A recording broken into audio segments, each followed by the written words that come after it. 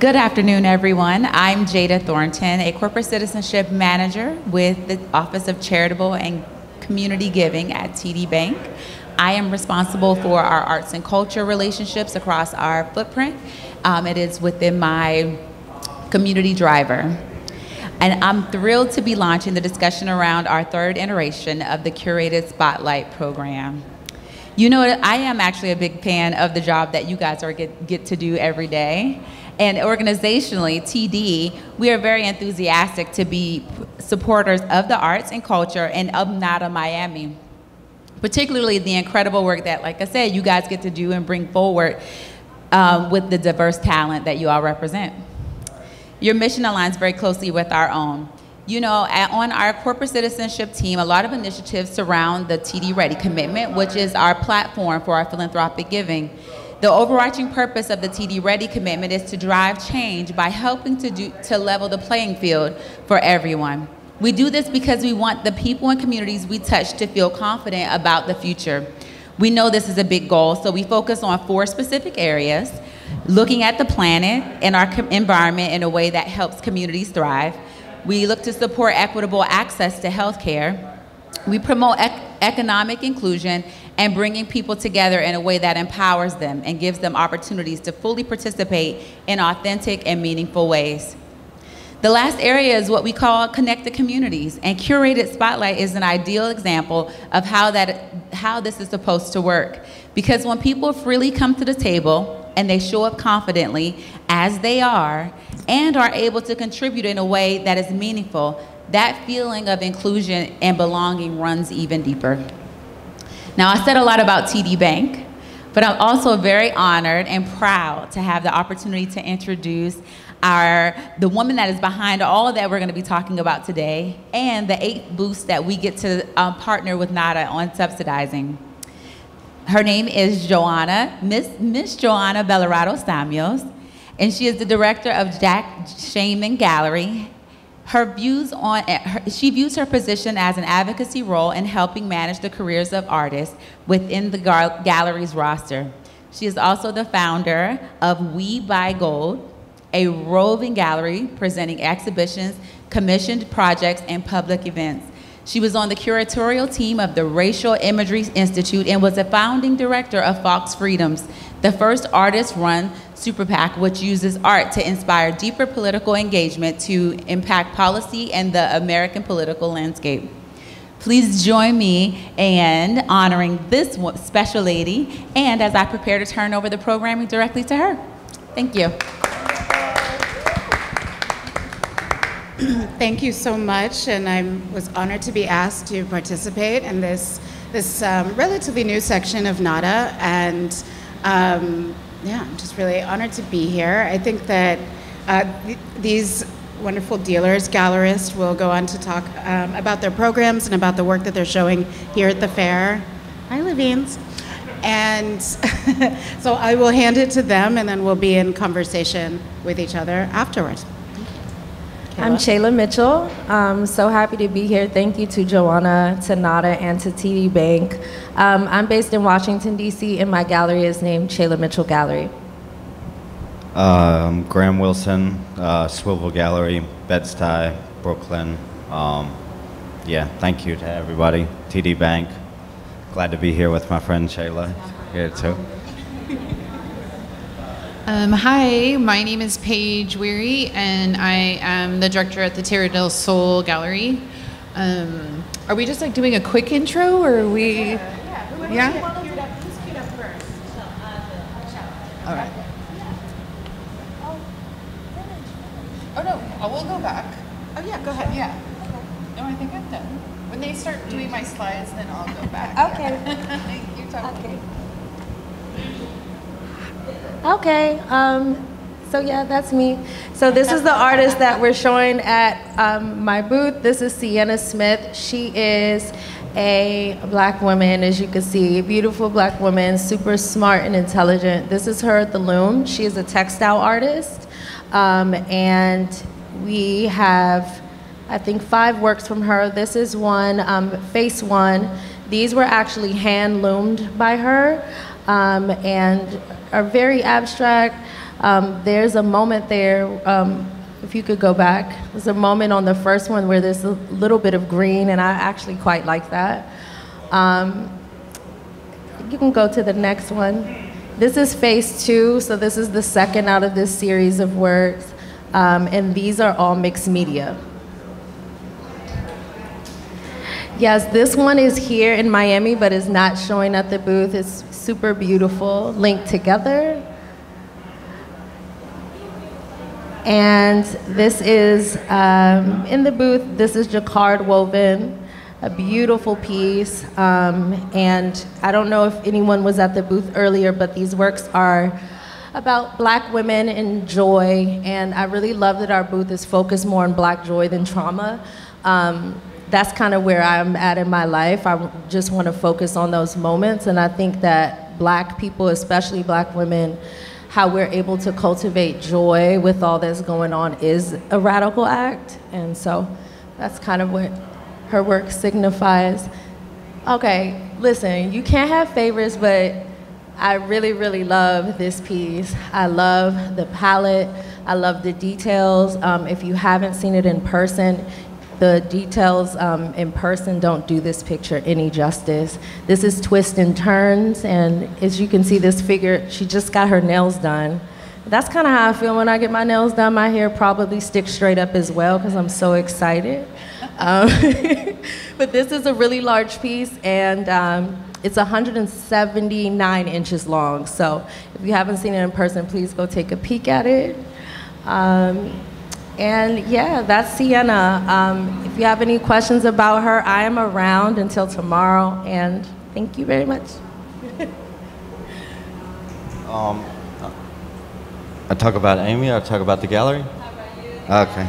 Um, so, I'm the founder of Swivel Gallery, which is uh, quite a strange gallery in um, Bed-Stuy, Brooklyn, which is not an art hub. Um, following behind this legendary woman here, who was the originator of the Bed-Stuy galleries, I would say, in a way. Um, and we started in the middle of the pandemic, and it's quite a strange space. I built the place myself. It was an old storefront tabernacle, and we focus on giving emerging artists typically their first solo exhibitions, and that's generally what we do. Um, not a great business model, but um, yes, that's generally what we do. And so, um, what we do with that is, I guess, my conception of that as a former artist was that I wanted to create a place where I could help these folks facilitate um, their first shows in a very sort of uh, monumentous way, or at least one that felt that way, so that you know it wasn't like a closet and saying like, "Look at my work," you know, where you can't really see it. So I try to set them up in a position where um, it feels very refined and feels like very viable for also their career to move on to also bigger galleries and these different situations. Um, and so we are presenting Amy Bravo um, solo exhibition here at NADA. She also has her two-person exhibition at the gallery right now with Albert Pugero. Uh, she's a recent Hunter MFA graduate, Cuban American. Um, and Amy is having a really important conversation for young people, in my opinion, um, and it is one that circulates around uh, wanting to be your own person in an area where you come from a lot of family pressure and a lot of also ethnic pressure and um, sort of wanting to be an autonomous person in that way, but also carry on your family legacy and also your ethnic leg legacy as well. So um, basically, her work circulates around narratives that are driven from her grandparents who passed when she was quite young. And so all she has left from that is stories and photographs and tchotchkes and different things. So she creates these sort of mythological worlds and allegories throughout her work where it's sort of this coming of age narrative of her trying to navigate a space of being queer and being Cuban and wanting to be a Bravo, but also wanting to be autonomous in that way. So um, everything is quite imaginary in her work. Um, so this piece, Home to Roost, is uh, the door signifies basically either going back to your childhood home or your home country and the anxieties that surround that. And that's why, as you can see in the work, that one foot is going towards the door and the other is going the opposite direction. So, um, and then this particular series that she made for Nada was started when she was a Fountainhead resident here in Miami in July. So the narrative circulates all around the rooster, which is also big in Cuban heritage, and the rooster typically signifies a male or a male ego. So um, a lot of her work also takes on these kind of like uh, machismo poses and these super stoic sort of um, like reminiscent of like 1930s like macho men from advertisements and different things like that. And so Amy is basically sort of in this presentation becoming like the male heir of her family, I suppose you could say. Okay, we can carry on. Yeah. Um, so I am the director at the Tierra del Sol Gallery. Uh, our gallery is part of a larger nonprofit program um, that has actually been around for 50 years. We work with adults with disabilities and we help people get through college, we help people find jobs or volunteer in their community, and then we also have these two thriving art studios um, with 120 artists in them. Uh, the gallery that I run represents those artists. And um, this is our first time coming to NADA. We're super happy to be here. Uh, thank you for the honor, too, of being part of the spotlight. And um, and so we, because, uh, so most of the people that come out of the program, uh, the art world hasn't necessarily heard of them. So I like to focus on solo shows most of the time in the gallery to make sure that everybody sees how epic their art voice is. Um, and we followed through with that here at NADA. We have a solo show of Joe Zaldivar. And Joe actually drove all the way across the country with his parents. He's out there. Say hi, Joe. awesome. He just showed up just like five minutes ago. They've been driving for five days. So, so cool. Um, so Joe uh, has a beautiful obsession with maps and buildings. Uh, he doesn't use projections. He doesn't use a ruler. It's all hand drawn. Um, Joe had never been to Miami until we got here. And um, he, once he hears that he's going to have a show in a certain place, he does a deep dive into researching their buildings and uh, their historic monuments. And he uh, also their everyday average places like a post office and a grocery store and things like that. CVS is in our booth. And, um, and so he does a deep dive into that city, does a bunch of research, and then hand draws uh, the buildings that he wants to and the maps that he wants to. Um, there's the CVS. And uh, yeah, so that's, I think that there's when he, he comes up with these maps that, um, this is a preseason game one, and even if you're not into football, there's just something about his graphics and his text and his colors that are pretty phenomenal. Um, what's the next one? There's one of the post office that he researched for this show, the Palm Beach, Florida post office. And uh, yeah, so I think that that about wraps that up. Yeah. Thank you. Thank you all. I'm really proud that there's such a diverse group of practices within the Spotlight. And I've been asked before, kind of like what it means to curate Spotlight and what is the kind of overarching theme. And I'm also very proud that I don't really think there is one. But it's interesting to hear you all talk about your artists, and, and I kind of formerly didn't see as many of the connections, but is so much about creating space and whether it's safe space and spaces of joy and black womanhood and kind of celebrating or spaces in which to articulate melding identities or quite literally depicting physical spaces, but also kind of creating them in a way that Joe hasn't been to Miami before um, in making the work. So it's, it's exciting to see all those kind of that interconnectedness of everyone's practice.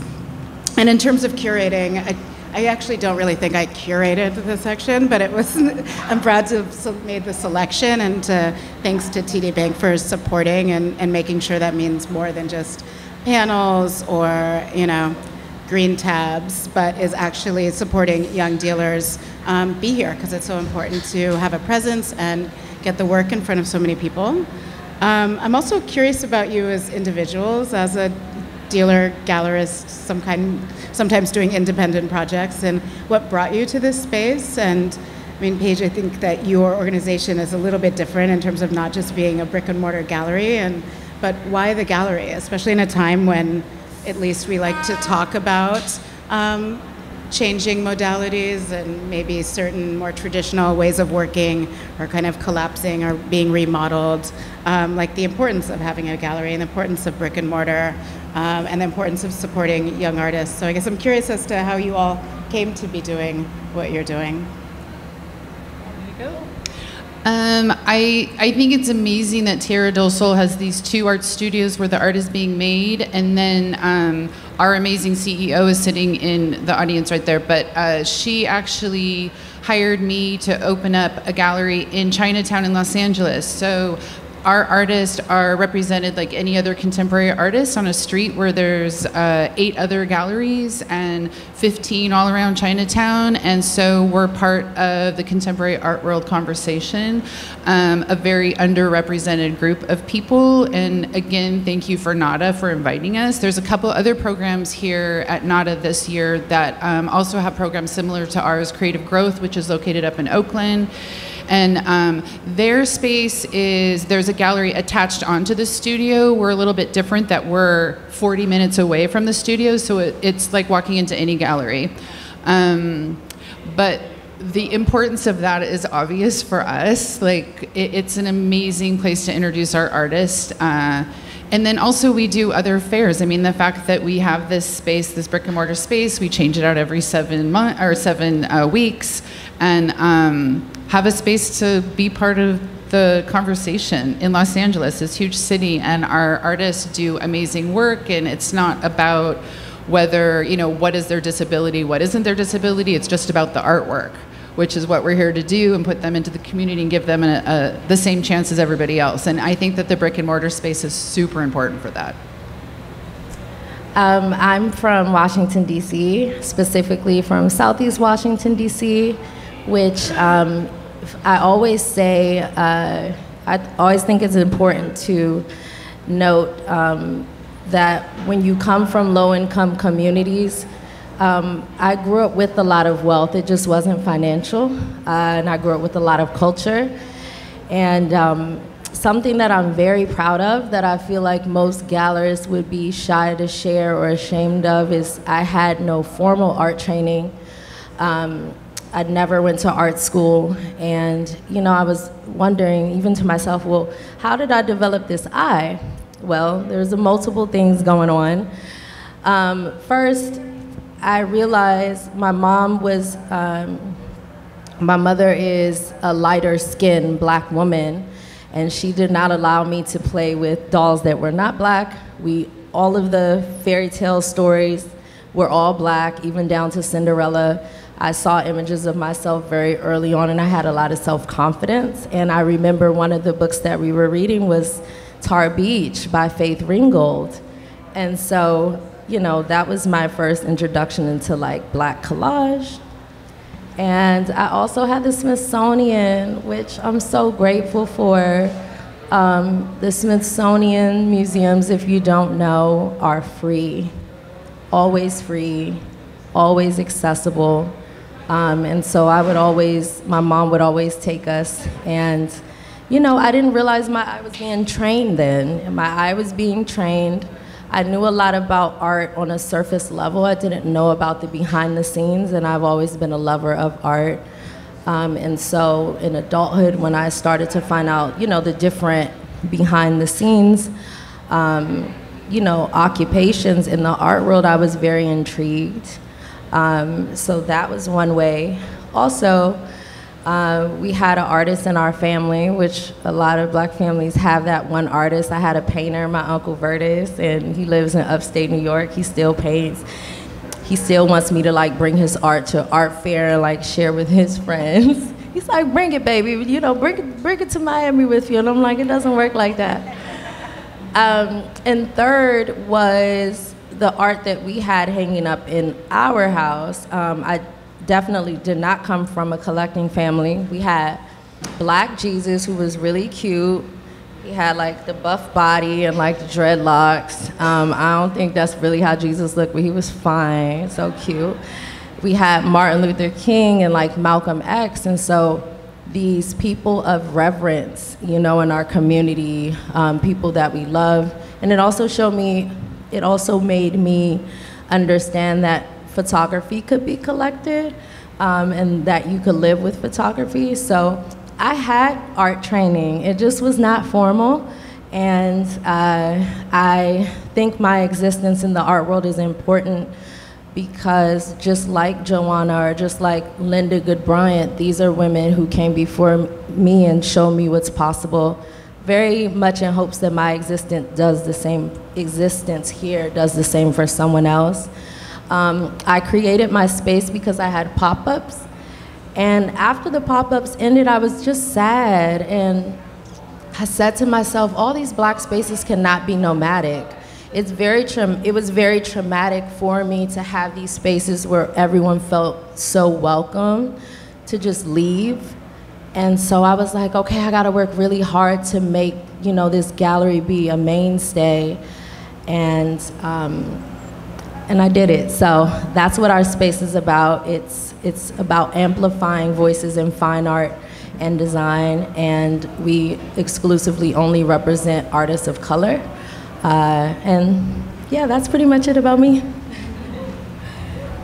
Um, I did not become a gallerist, I suppose, cognizantly. I uh, was an artist before, and I had a, a short but fruitful career, and showed at NADA several times then also. Um, but, and I was represented by a few galleries um, all over the world, and Denmark, London, Milan, Paris, here, uh, New York. Sorry, I'm not in New York. Um, but and I guess through that, I just you know, I mean, I I'm from Kentucky originally, and I moved to Bed-Stuy 16 years ago when I was 18.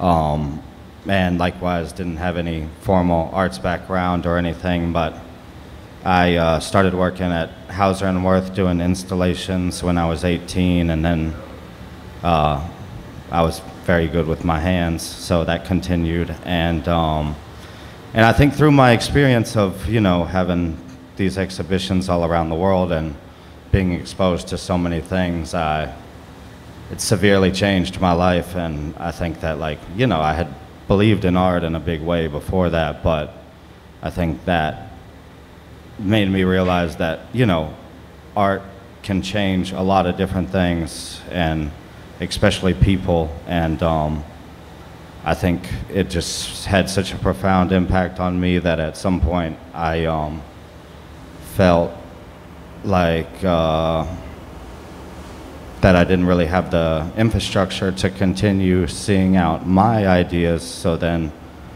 uh, the gallery was conceived through a single thought that I had when I said, well, because I was still being asked to do shows at my galleries and all of these different things. And it stemmed from a thought that I said, well, if I'm not going to take up space, then I can give space. And so that was sort of the original conception. And through having done 13 solo exhibitions and probably mounted over a thousand of them in my life for other galleries, I very much knew that I could provide guidance for young people to shape their solo first solo exhibitions and these different things. And um, and that was really how it started. And uh, it, I guess my sort of thought at the beginning was that I could um, you know play a big role in not only changing people's lives but also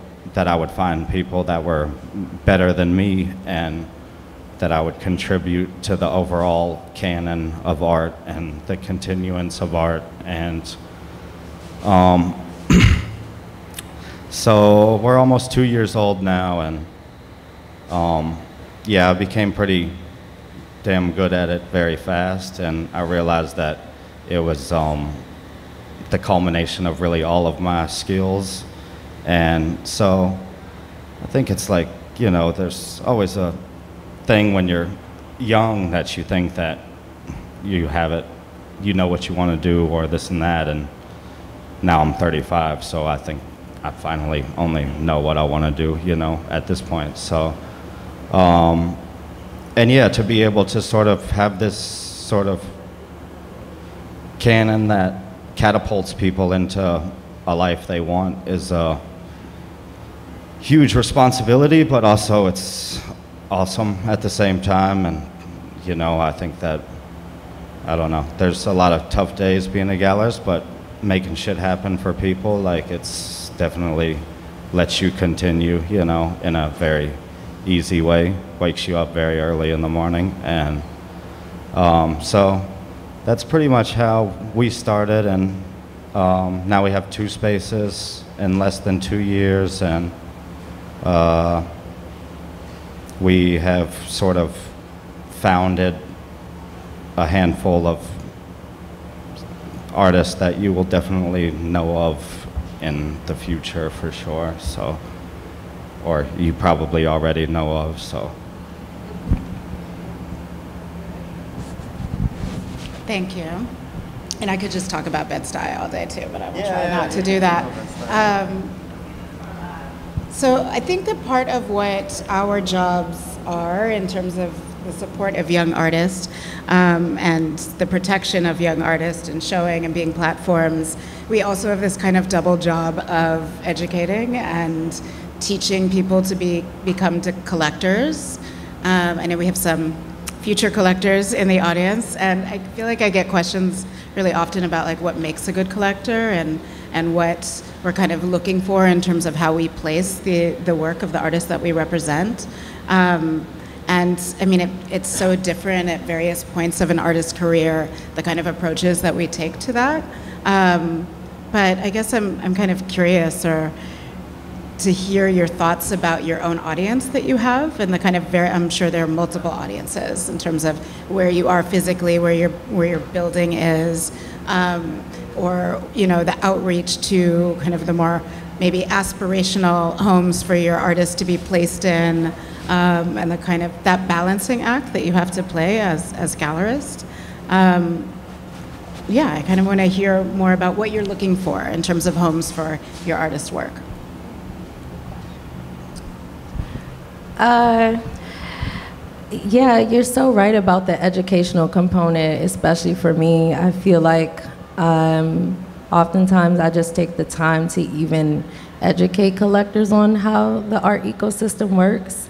I think that's super important to not rush the process, even for sales. Let people know like what it is that they're doing, and so I find myself doing that a lot, and it works. Um, I want the artwork from my gallery to go to collectors who understand that supporting emerging artists is when they need the most support. It's when they, in the very beginning, is when they need the most support.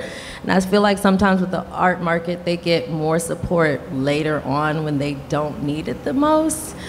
And so a lot of times I um, think people wait for the market to validate an artist when you, as a collector, can.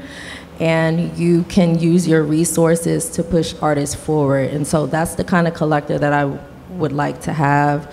I want them to live with the work and be happy with it and kind of share it, you know, with their friends. I want them to understand it. I don't want them to only look at artwork as a commodity, um, you know, but as something that they can grow with. Uh, and I just want them to be generally excited the way I am, you know. I've walked through some of these booths and I'm just like literally screaming on the inside, you know, when I step through. And I'm excited without even knowing the background of the work. And I think that excitement and that discovery is kind of what makes NADA a great fair, one of my favorite fairs. Um, you know, every year there's an artist here that we, you just don't know, and I would hope my collectors would want to be on the discovery end of things and just understanding their their position and how they can help. Yeah. Um, okay, good question. Well, I think that. Can I interject for you too? Because you've worked in all these other spaces that are so different from the space that you're running now, I think that to speak specifically maybe to that or to help guide your answer. yeah.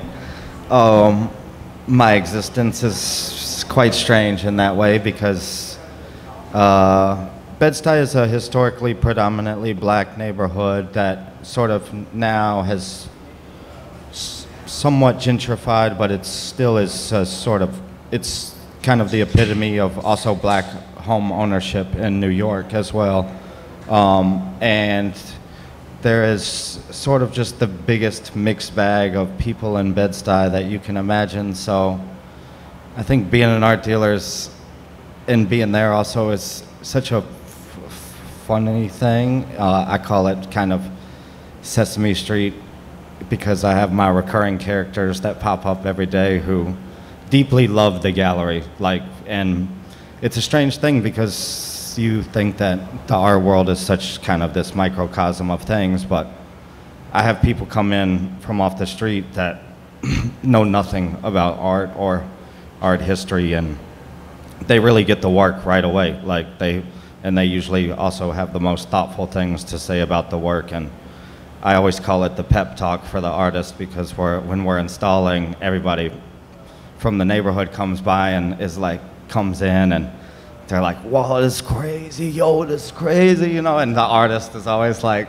feels reassured because regular people also us get their work. Um, so, and then the other sort of spectrum of that is then I have billionaires on my cell phone that are calling me for the work, and it's kind of a very strange sort of thing uh, to live in the middle of, I guess. And um, but as far as like collectors and you know what I want for things is that I noticed when I opened the gallery or knew that art had become more popular than ever. And so I said, well, if art's become more popular than ever, then what comes with that is also more collectors, right? It's not just Instagram post or whatever. At some point, somebody becomes involved enough that they start buying art. So then I sort of had a very big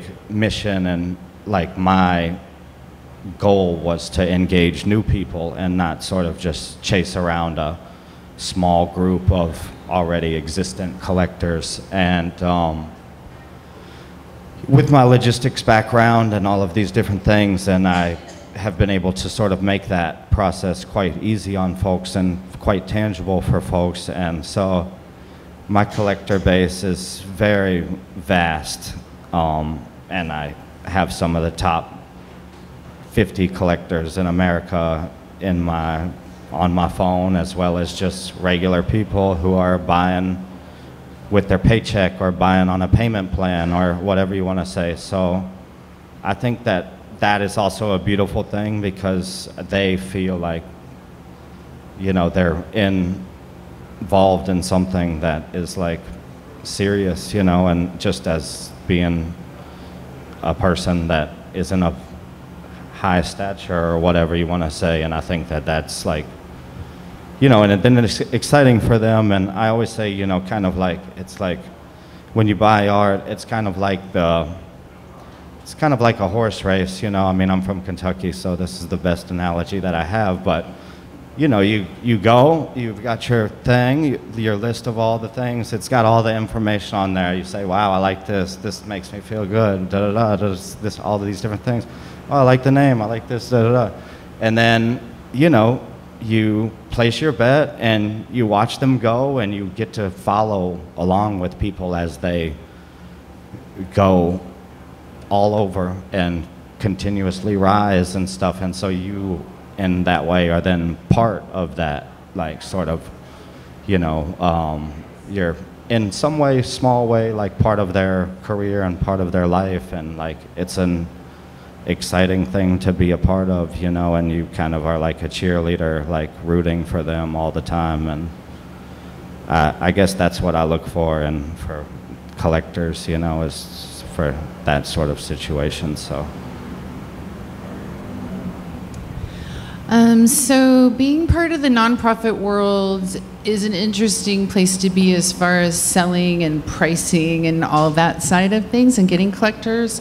Um, I love where we are because it's a super approachable place. We get up and say hi to everybody that walks in the door.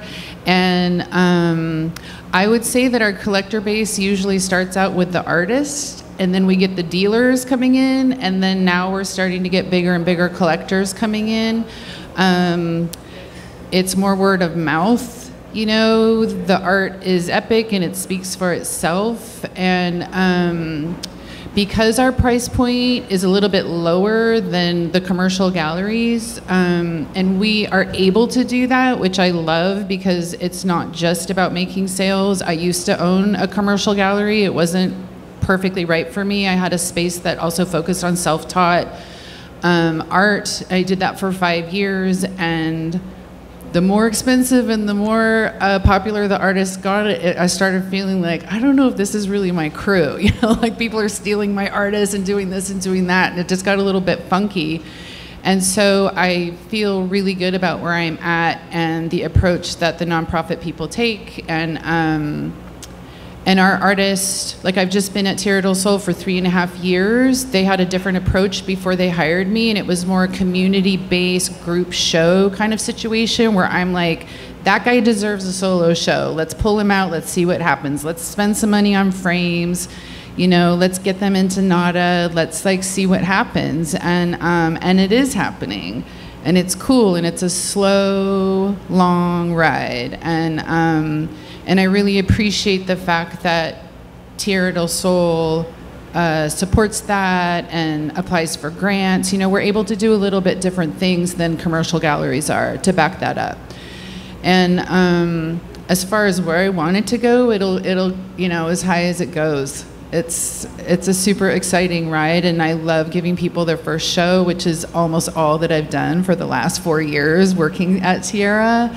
Um, and it's exciting for them for the artists. It's also super exciting for their families to walk in for the very first time and see their children's artwork up on the wall and framed and treated like that. And even though a lot of times uh, the people that we work with, their families, and the artists, they'll think that 650 or 800 dollars is a lot of money, and possibly they can't afford that. And then they'll sit there at the opening and watch people buying that, and other artists, and um, and other dealers, and and it's just the best feeling. It really is the best feeling. So. Uh, I love a sale, just like any other art dealer, but I also really appreciate uh, that starting point. And, and really for our space, I'm, I, I think of our space because I've got 120 artists and not all of them are going to get solo shows in the space, but um, I, I want to cover as much people as you know are ready for it. And, um, and so I, uh, we also do we also do other things that are pretty unconventional. You know, like we'll do group shows at at, uh, at City Hall You know, for people that aren't ready for a solo show, then we've got that. And it isn't about the sales when you're in City Hall. It's about reaching people and educating people about our program and, and about uh, the awesome work that happens there. So it's, um, it's a fun place to be.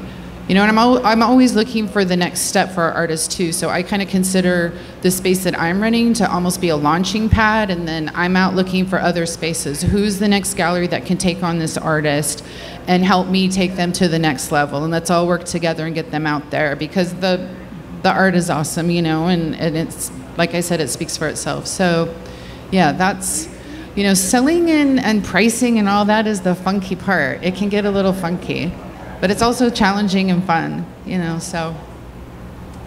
Feels good when it's done. Yeah. I don't know. Now that we have people here, should we open to questions? Should we do that? Question. Oh, come on.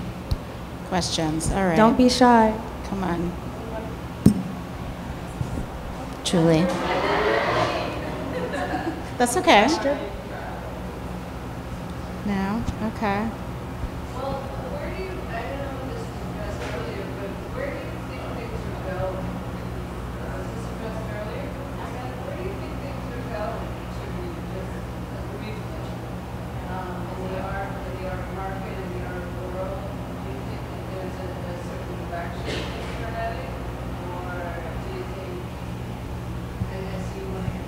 Yeah, I'll answer for you. Yeah, uh, I mean, I think that it's going in a place where it's becoming very much part of popular culture, just as anything else. You know, just as big as sports is, as movies are, as music is, and especially in America. You know, and I think that obviously that will be very fruitful for art all around, and for artists and gallerists and all of the above, but. I don't really see how it can go backwards from where it is now. You know, I mean, it, when I even when I at the time when I was an artist, which was only 2013, there was no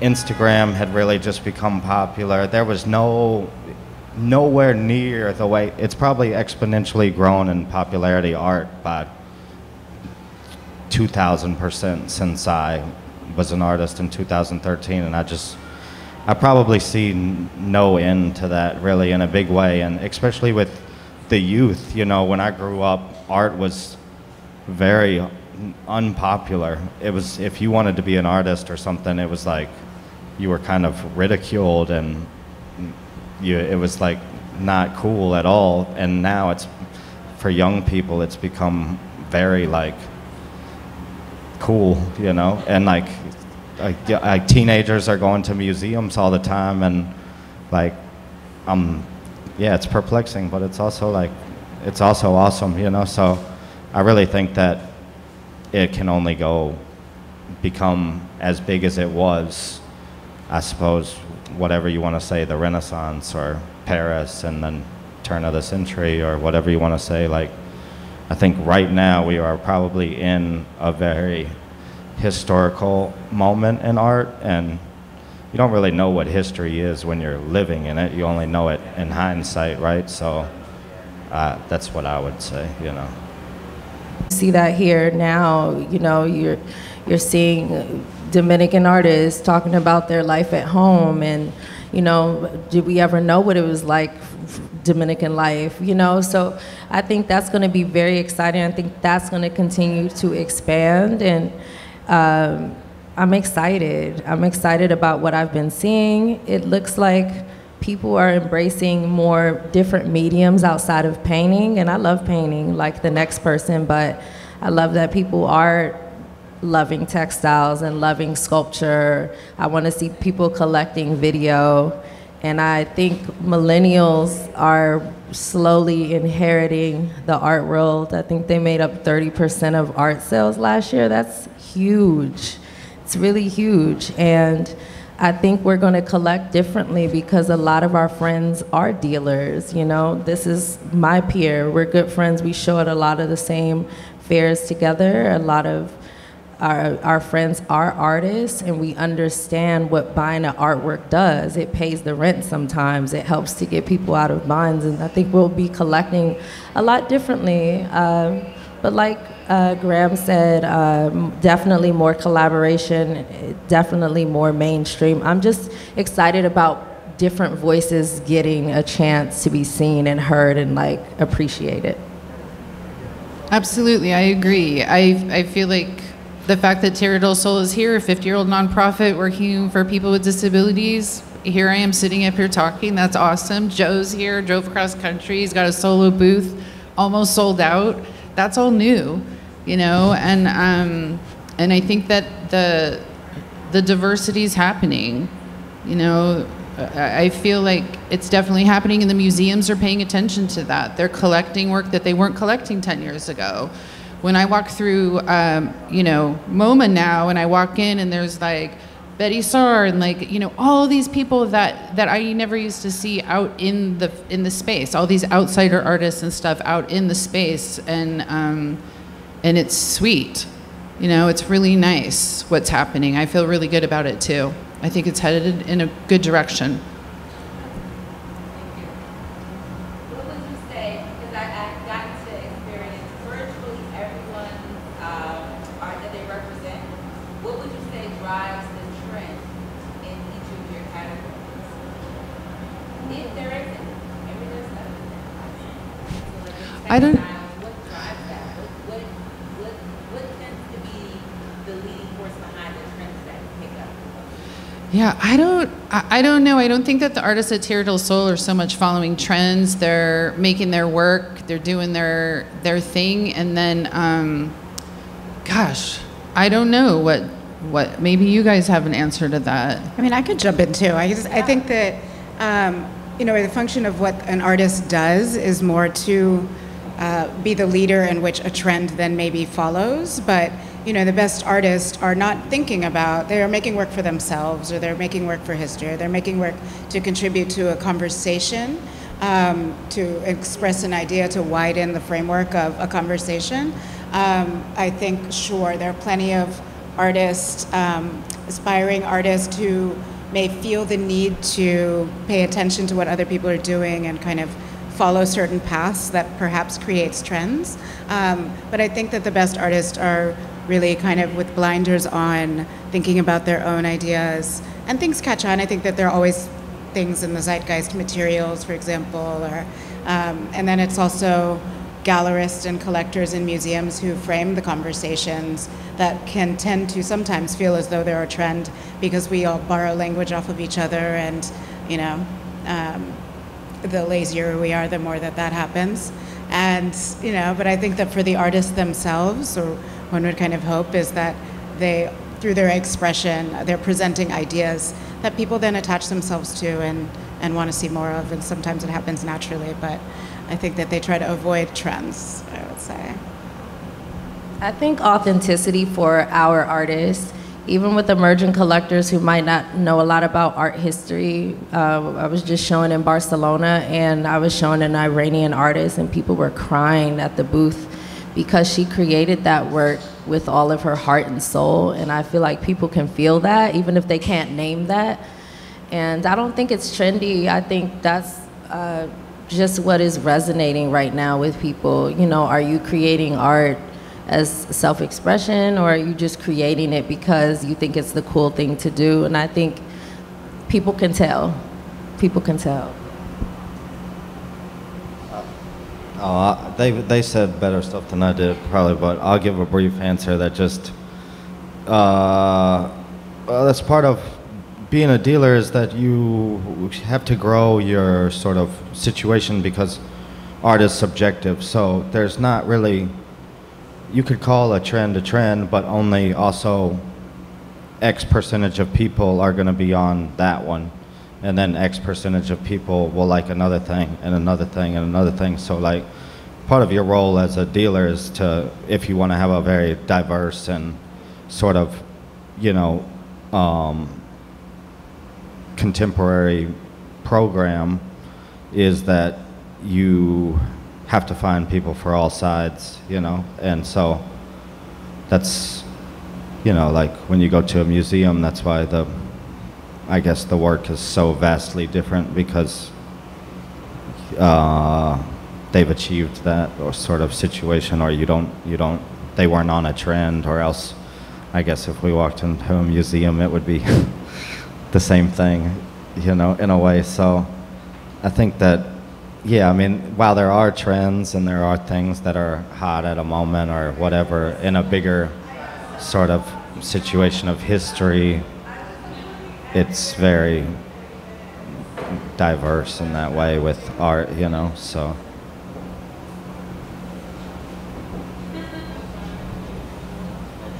Anybody else?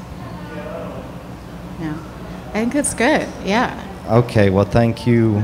Thank you so Thank you much, so much Joeonna. for everything. Yeah. No, special thanks to all the galleries that that presented, and I really appreciate it. And having lived in DC, and that's where I like left and turned to art and my old block on Nostrand. I really appreciate what you're doing there, and of course, the, being from California and parents involved with creative growth, and really appreciate the work that you do too. And I can't wait to see what your artists do and what you do with your programs. And I'm We honored to know appreciate you more Thank and all that you've done, Thank really, you. honestly. Yes, thank you.